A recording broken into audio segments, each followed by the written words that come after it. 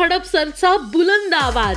पुणे शहराचे माजी उपमहापौर आणि मगरपट्टा सिटीचे डायरेक्टर महाराष्ट्र प्रदेश प्रतिनिधी राष्ट्रवादी काँग्रेस पार्टी राष्ट्रवादी काँग्रेसचे दिग्गज नेते माननीय श्री निलेश दादा मगर यांना वाढदिवसाच्या हार्दिक हार्दिक शुभेच्छा. शुभेच्छुक कमलेश दादा मगर युवा मंच तसंच कमलेश दादा मित्र परिवार. नागपूरच्या रामबाग वस्तीत घराशेजारी राहणाऱ्या बेचाळीस वर्षीय इसमाने आठ वर्षीय गतिमंद मुलीवर अत्याचार केल्याची घटना उघडकीस आली आहे. ह्या नराधामाने ह्या मतिमंद मुलीच्या घरी कोणी नसल्याची संधी घेत मुलीवर अत्याचार केलाय. पीडित मुलीला नागपूरच्या सहकारी दवाखान्यात नेण्यात आले असून मुलीला ॲडमिट करण्यात आले आहे. सध्या मुलीची प्रकृती स्थिर आहे. ह्या बेचाळीस वर्षीय व्यक्तीला इमानवाडा पोलिसांनी अटक करून आणले आहे. ह्यात आणखी कोणी सहकारी आहे का? ह्याचा शोध घेतला जात आहे.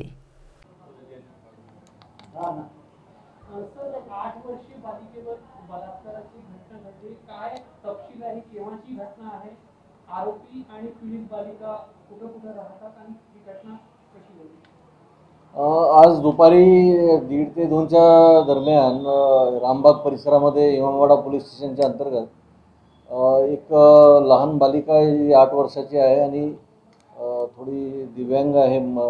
अशी माहिती मिळाली की तिच्यावर शेजारीच राहणाऱ्या एका व्यक्तीने तिच्यासोबत दुष्कर्म केलेला आहे. आणि त्या अशी माहिती मिळाल्यानंतर पोलीस स्टेशनचे अधिकारी व स्टाफ तिथे गेले आणि पीडित मुलगी जी आहे तिला तात्काळ ताब्यात त्यांचं पॅरेंट्ससह घेऊन त्यांना मेडिकल कॉलेज येथे पाठवण्यात आलेलं आहे. त्या ठिकाणी त्यांची जी आहे मेडिकल एक्झामिनेशन व फर्दर ट्रीटमेंट सुरू आहे.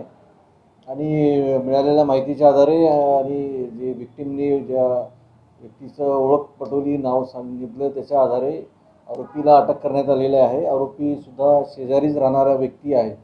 आणि त्यांनी त्याला विश्वासात घेऊन मुलीला तिच्यावर जे आहे बलात्कार आणि इतर विनयभंग केल्याचा प्रकार घडलेला आरोपी त्याच ठिकाणी शेजारीच राहणारा व्यक्ती आहे. त्याची आता आपण तपासाच्या याच्यामुळे अ, आपण त्याचं नाव सांगता येणार नाही. पण शेजारीच राहणारा व्यक्ती आहे आणि तो तिथेच राहून एकटाच राहत असतो सध्या खोलीमध्ये. त्याचा मुलगा आणि पत्नी त्याच्यासोबत राहत नाही अशी माहिती आहे मुलगा पण गुन्हेगार असल्यामुळं तो सुद्धा पोलिसांच्या अटक कारवाईमध्ये जेलमध्ये आहे.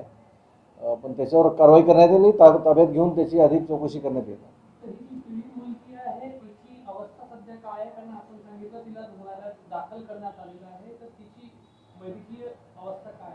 वैद्यकीय तपासणी करून फर्दर जे काही कॉम्प्लिकेशन्स आणि जे काही आहे डॉक्टर्सच्या सल्ल्यानंतरच ट्रीटमेंट झाल्यावर त्यांना ते डिस्चार्ज करतात.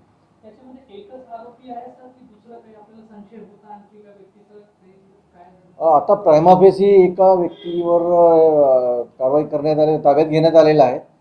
पीडितचं जे आहे आणखी अधिक व्यवस्थित स्टेटमेंट घेऊन पुढील कारवाई करू. Thank you.